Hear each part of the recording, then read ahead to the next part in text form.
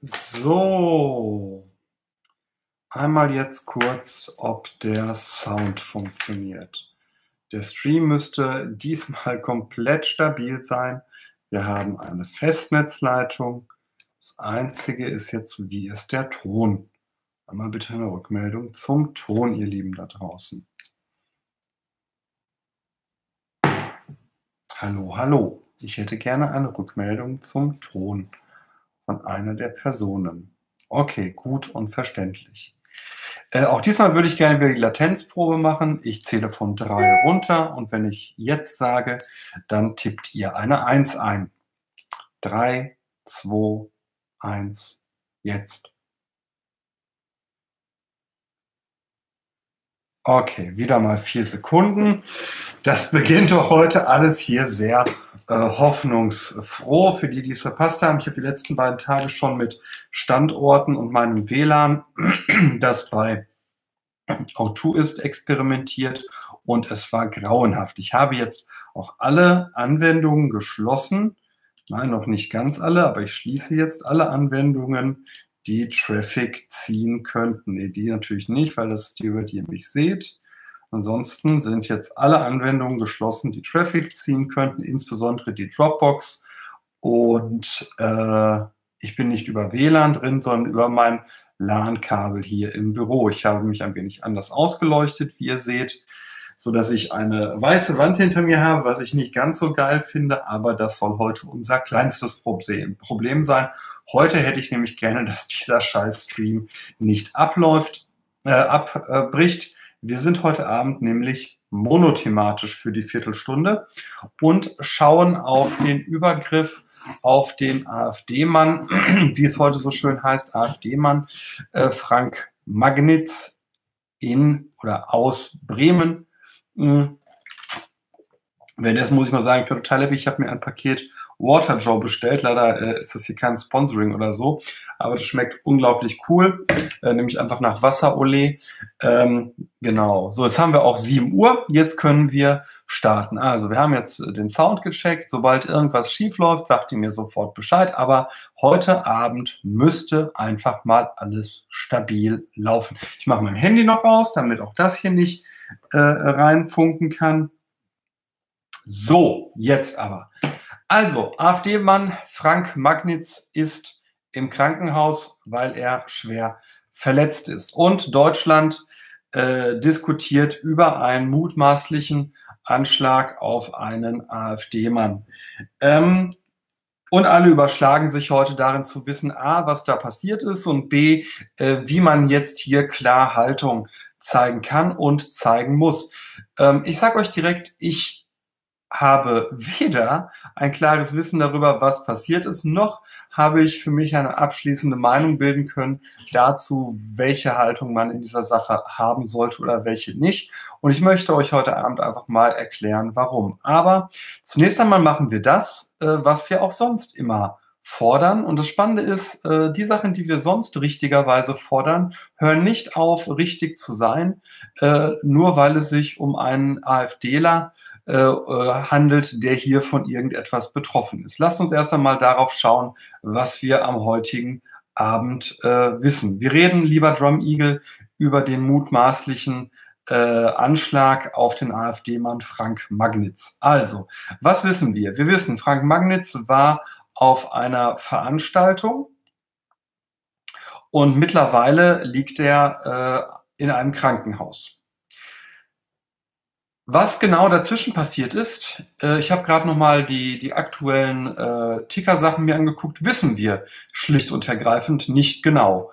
Wir wissen, dass Frank Magnitz nach Hause gegangen ist und dass er nach eigener Aussage äh, wohl überfallen wurde. Ähm, Frank Magnitz sagt, er erinnert sich weder an die Angreifer noch daran, wie sie angegriffen haben. Ähm, dass eine Attacke stattgefunden hat, ist relativ äh, hoch wahrscheinlich. Frank Magnitz wurde nämlich von äh, zwei, wie war das denn, von zwei Bauarbeitern, genau, von zwei Bauarbeitern, sage ich mal, gerettet. An einigen Stellen findet sich, er soll äh, die sollen eingeschritten sein. Das findet sich an einigen Stellen in den Medien. An anderer Stelle findet sich, dass diese Bauarbeiter Frank Magnitz auf dem Boden liegend gefunden haben sollen. Gehen wir mal äh, davon aus, dass sie tatsächlich eingeschritten sind und die Angreifer verscheucht haben. Das würde auch erklären, äh, woher die Beschreibung der Täter kommt. Denn von Frank Magnitz kann sie nicht kommen. Der sagt ja, er erinnert sich äh, daran, äh, nicht, was da genau los war und er habe die Angreifer auch nicht gesehen. Er sei auch nicht vorab in irgendeiner Art und Weise gewarnt und oder bedroht worden. So. Äh, dass er mit einem Kantholz angegriffen worden sein soll, äh, hat die äh, AfD verbreitet, zusammen mit Fotos der Verletzung von Frank Magnitz. Die sind äh, nicht ohne, die sind äh, der Gestalt, dass er schwer verletzt ist, dass er derzeit im Krankenhaus liegen muss, dort auch behandelt wurde. Ähm, es gibt einen ersten äh, eine erste, äh, ein erstes Ermittlungsergebnis der Polizei. Die sagen, es ist ein Video ge äh, gefunden worden, auf dem wohl der Angriff zu sehen ist. Äh, dabei sei aber nicht zu sehen, dass bei dem Angriff ein Schlaggegenstand verwendet wurde. Ich beziehe mich hier hauptsächlich auf zwei Artikel, nämlich einen der Weser Kurier, der relativ nah dran ist, und T-Online, die, wenn ich das richtig sehe, hauptsächlich Agenturmeldungen reproduzieren, was nicht schlimm, schlecht sein muss, aber damit ihr auch seht, wo ich meine Kerninfos jetzt hier wieder habe.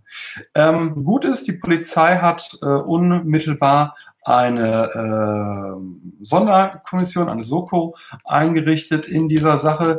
Äh, das übrigens passt gar nicht zu den sonst gemachten Vorwürfen äh, der AfD, dass die Polizei nie irgendwas irgendwo äh, tut, womit die AfD ja immer und immer wieder Polizeibeamte äh, beleidigt und als untätig äh, abstempelt. Also die Polizei ermittelt. Die Polizei geht davon aus, mit Blick auf die äh, Abgeordnetentätigkeit, Frank Magnitz ist äh, Mitglied des Bundestages und AfD-Landes, äh, Landessprecher oder Landesvorsitzender, ich habe jetzt die AfD-Struktur nicht genau im Kopf, in Bremen, so dass natürlich ein politischer Kontext nahe liegt. Ähm, ich muss sagen, letztlich wissen wir nicht, ob es einen politischen Kontext gibt. Es gibt kein äh, Bekennerschreiben, es gibt keine äh, äh an, äh, einschlägigen Sachen, die dort gerufen oder aufgefunden wurden. Das äh, alles wird abgeleitet aus der Person des äh, Opfers. Ähm, auch hier, ich finde es richtig, dass man hier von einem äh, politischen Delikt ausgeht, möchte aber darauf hinweisen, dass die äh, AfD selbst solche äh, Aussagen in anderen Kontexten äh, immer stets zurückweisen würde und sagen würde, äh, das könnt ihr noch gar nicht sagen, das geben die Ermittlungsergebnisse noch gar nicht her, lasst die Polizei doch erstmal ihren Job machen und, und, und, und, und. Zugunsten der AfD möchte ich heute vorübergehend und aus Sicht der AfD dann wohl vorschnell ähm, annehmen, dass es sich hier um ein politisches Delikt handelt. Der Weser Kurier bringt dies in Zusammenhang mit äh, Angriffen auf AfD-Parteibüros äh, an anderer Stelle. Äh, ich habe heute eine andere Quelle kurz gesehen, die sagt, dass über 250 Parteibüros dieses Jahr von verschiedenen Parteien, also nicht von der AfD, sondern von verschiedenen Parteien ähm, äh, angegriffen wurden. Insofern ist natürlich äh, dieser Connex äh, einerseits zwar naheliegend, andererseits aber eben äh, nicht viel mehr als eine, äh, eine Korrelation und keine Kausalität. Wenn wir also nach dem eigenen äh, Maßstab der AfD gehen, wäre es streng fahrlässig, die Tat, äh, die, diese Tat A politisch zu nennen und B sie in Zusammenhang zu irgendwelchen anderen äh, Taten zu bringen. Aber ähm, schauen wir mal nicht so sehr darauf. Ähm, spannend ist jetzt, was heute dann passierte. Äh, natürlich äh, nutzte die AfD diese Tat äh, für sich, ohne dass überhaupt klar ist, was da passiert ist und ob es einen politischen Hintergrund gibt. Und alle möglichen Leute äh, versuchten diese Tat für sich zu nutzen. Das ist leider das, was bei Taten von bundesweiter Relevanz äh, mittlerweile völlig gang und gäbe ist. Jeder, jede politische Strömung versucht, jede öffentlich bekannte Straftat zu ihren Zwecken auszunutzen. Das tut die AfD genauso, wie es die Grünen tun. Äh, das tut die extreme Linke so, wie es die extreme Rechte tut und so weiter und so fort. Das kann man natürlich ähm, ablehnen, das kann man verwerflich finden, aber das ist ein relativ normales, wie ich finde, Geschäft, muss ich immer wegschmeißen hier, äh, Geschäft und, äh, oh Gott, ein Leck. Bitte jetzt nicht öfter, Freunde. Das kann jetzt echt nicht wahr sein. Der Numerix hat einen Leck. Haben noch andere. Andere auch. Das ist doch scheiße.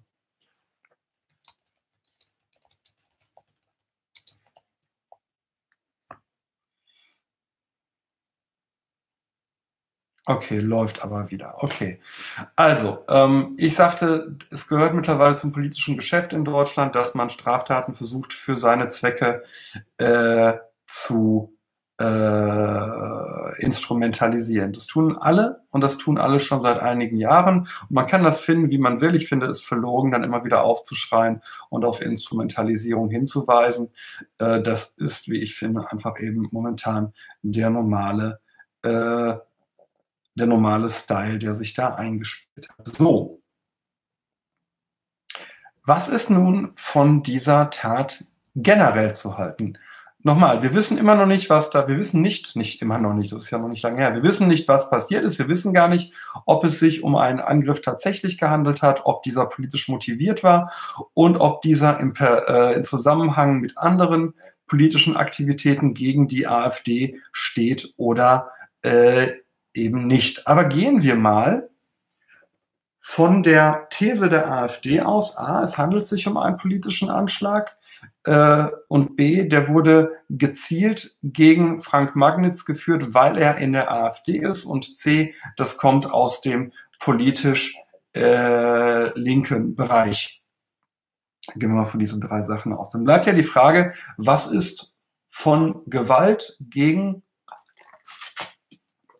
einen AfDler also gegen das Mitglied einer rechtsradikalen Partei oder einen Funktionär, einer, äh, einer, einen prominenten Funktionär einer rechtsradikalen bis rechtsextremen Partei zu halten. Ähm, und das Erste, was mich stört, ist heute, was immer wieder aufploppt, Gewalt ist nie eine Lösung. Freunde, das ist doch einfach Bullshit. Das können wir erstmal ganz eingangs festhalten. Das ist eine völlig absolute Aussage, die natürlich genauso falsch ist. Äh, Gewalt ist natürlich manchmal eine Lösung. Äh, Gewalt ist beispielsweise dann eine Lösung, wenn äh, Notwehr durchgeführt wird. Aber auch in einem größeren Kontext, wenn wir jetzt auf Staaten denken, ist Gewalt natürlich gerechtfertigt, um beispielsweise ein äh, diktatorisches Regime ähm, aufzulösen, das in jedem Fall, ähm, und eine unterdrückte Bevölkerung von einem, äh, von einer Diktatur zu befreien. Äh, niemand da draußen wird, also F5 wird übrigens empfohlen, wenn es hängt. Äh, das wird ja niemand ernsthaft da draußen bestreiten wollen. Ähm, und wir müssen sehen, äh, nicht und, erstmal das so. Das heißt also, wer sagt, Gewalt ist immer falsch, äh, der hat natürlich äh, in dieser Form immer Unrecht, weil er damit den Fortbestand einer jeden existierenden Diktatur und jeder äh, Unterdrückung einer ähm, freiheitlichen Gesellschaft äh, letztlich unterstützt. So, und das finde ich eben falsch. So, jetzt sagt hier jemand im Chat zurecht, Gewalt sollte allerdings nur angewendet werden, wenn es keine andere Lösung gibt. So, das finde ich einen sehr guten Punkt. Das heißt, ähm, es gibt ja das Nicht-Aggressionsprinzip ähm, in der äh, libertären und anarchokapitalistischen Theorie.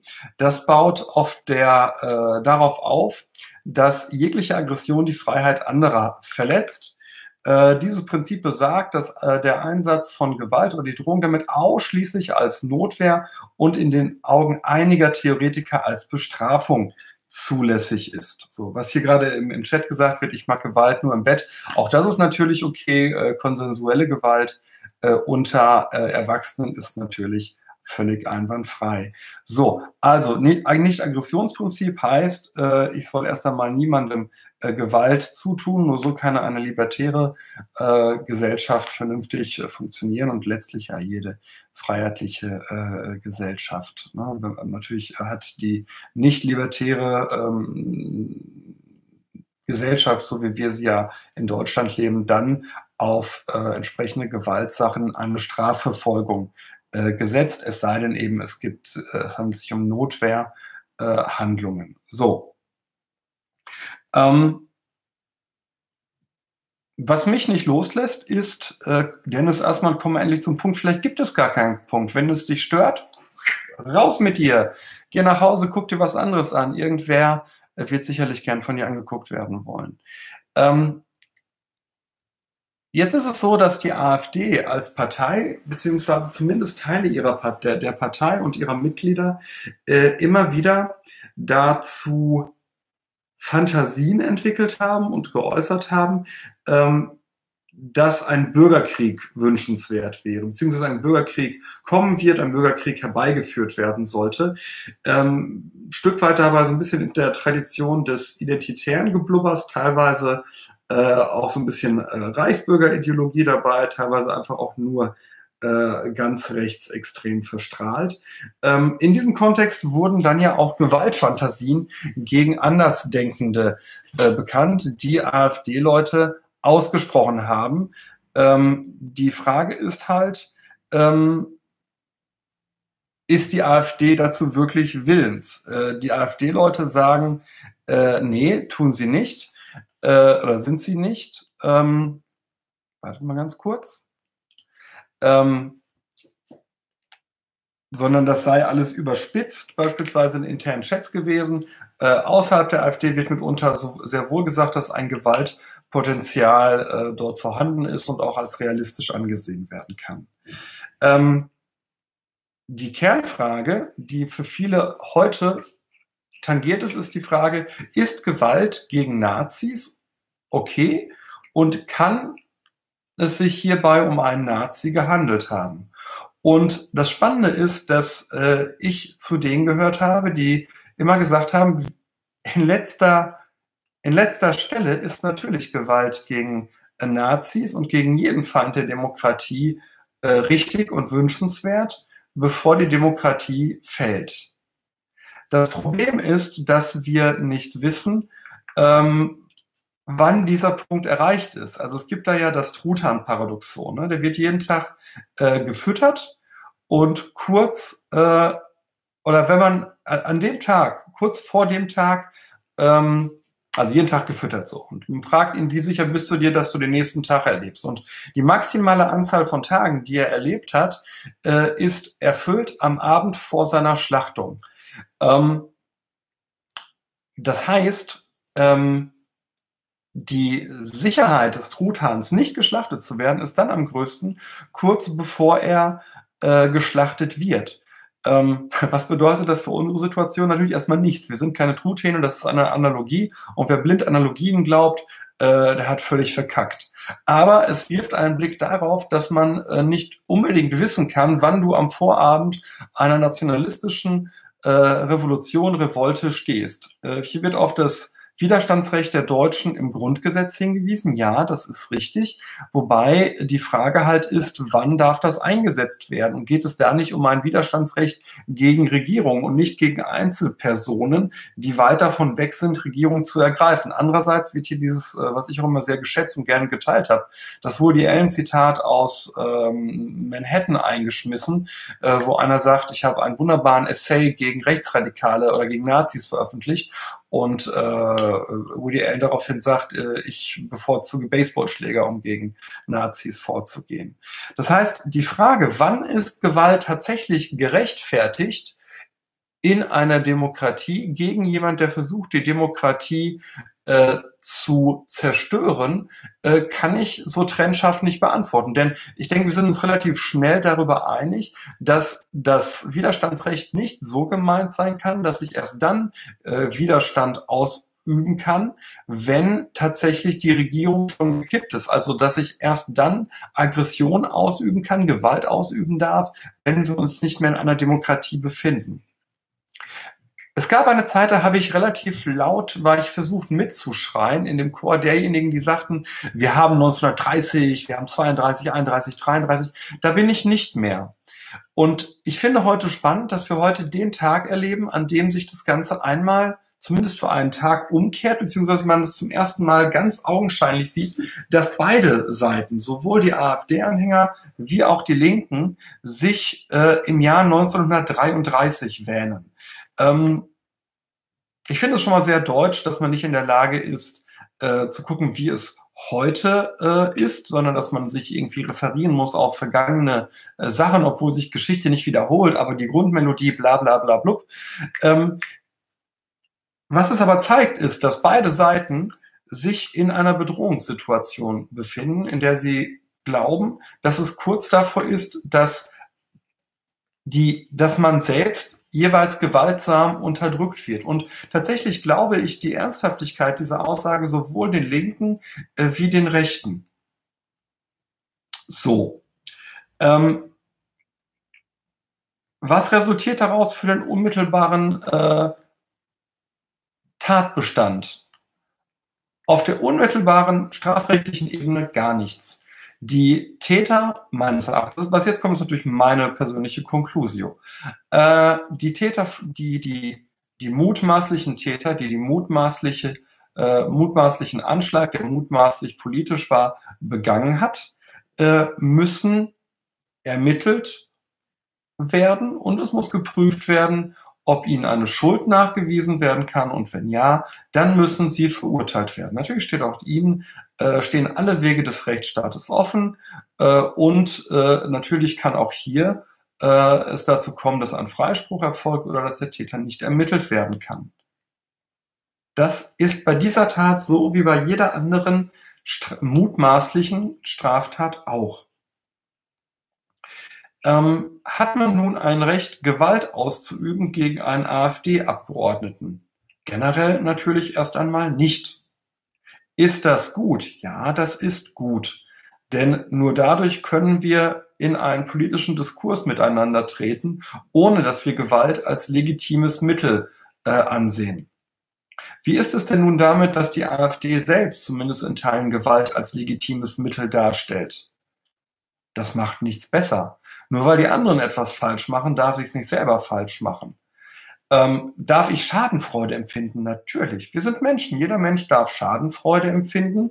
Allerdings, wenn ich das richtig überblicke, äh, ist der Magnitz jetzt niemand, äh, der aktiv selbst diese Gewalt oder ähnliches äh, vertreten oder gefordert hat. Ähm, sollte sich durch die empfundene Schadenfreude irgendwas an Strafverfolgung ändern? Nein, auf gar keinen Fall. Das ist eine möglicherweise persönliche Beurteilung, die aber natürlich nichts an der juristischen Komponente ändert. Ist Gewalt immer falsch? Nein, auf gar keinen Fall. Es gibt genug Fälle, in denen Gewalt angezeigt ist, sowohl auf individueller Ebene zur Abwehr von äh, sonst größerer äh, Gefahr fürs eigene Leib und Leben, aber eben auch strukturell, wenn es darum geht, äh, die Freiheitlichkeit einer Gesellschaft zu verurteilen. Ist dies hier geschehen? Aus meiner Sicht nein. Wir sind hier aus meiner Sicht an keinem Punkt, äh, wo man sagen könnte, dieser äh, mutmaßliche Anschlag, der mutmaßlich politisch war, hat dabei äh, geholfen, die freiheitlich-demokratische Grundordnung zu stabilisieren. Ähm,